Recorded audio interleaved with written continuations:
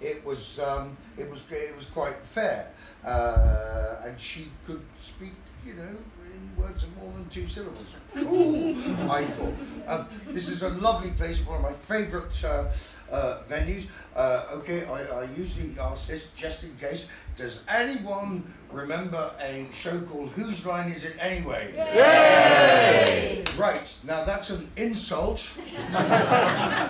no, it's not. It's lovely because people often do come up to me and say, oh, my mum used to let me stay up real late to see you, and I did the same with my granddaughters. And it's lovely. And I just go on, I said, go away.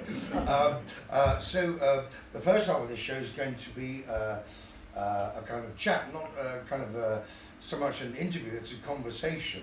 And so we'll uh, crack uh, uh, straight on with it. Oh, I just want to say that um, from Whose Line Is It Anyway and um, other people like, uh, anyone remember Ryan Stiles? Oh, yeah. Yeah. Brilliant. Not as good as you though, Tony. Anyway, you know, he's really rich and famous and I'm not at all bitter! My point is that the first part is just a uh, chat really and I'm very.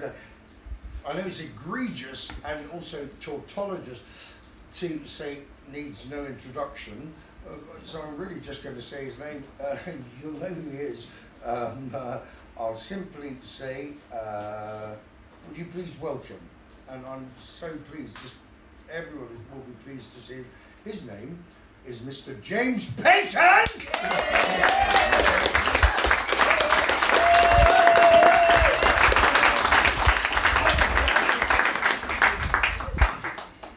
Well, that's very sweet. It's not true, but it's very sweet. James, thank you so much for everything. Right. Hello, my name is. No.